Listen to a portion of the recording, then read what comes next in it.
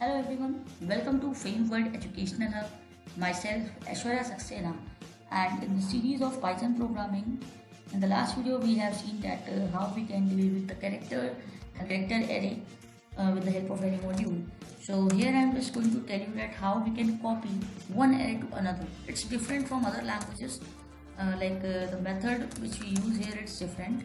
So let's see and uh, I'm just taking an integer array here some values I'm taking. And now if uh, first of all I'm just first of all I'm just printing this vals so I'm just printing it and then I'm just taking new ARR a new array I'm taking. Now it is also an array and uh, the array function basically takes two parameters. So the first one is the type code. Here we want to copy vals into the new array. Sorry. So what we should do to copy the data type also like it's necessary. So we are just taking vals dot type code the first parameter. And now I am just using the loop a for a in vals so what will happen? Like uh, it is a bit different as com compared to other languages you can see. Here it is the variable a which will be holding the elements in the new array. And this is for a in vals which is basically taking uh, single single element from this vals array and just copying it to this a. So this way we can just uh, copy and now just print it. So i'm just uh, printing the new arr also. This is the message and now i'm just printing it. The new arr also i'm printing. Let's run it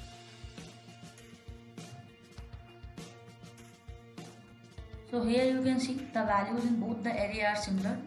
There is no difference in the value and the array basically is copied into the another.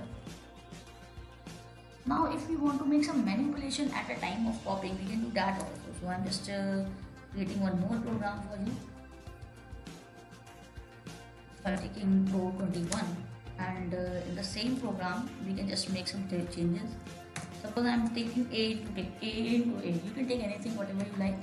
You can make any manipulation. Right now I'm just taking A into A so you can see that uh, because of A into A what we are values we are getting? 44 into 44 55 into 55 accordingly we are getting the values. So I'm just changing the values. So you will be understanding it more better. Okay so go back to these values I'm just going to run it. So you can see 4 into 4 16 5 into 5 25 6 into 6 36 59 9 and everything is coming very properly. So this way we can directly manipulate also. We can ma manipulate the values which are uh, coming. So we can do that also. I hope this program is clear to you. I hope you like the video. If you liked it please hit the like button and don't forget to subscribe World Educational Hub. Press the notification bell for the latest uploads on this channel because there are different playlists available for you in which you will be finding good content related to computer science related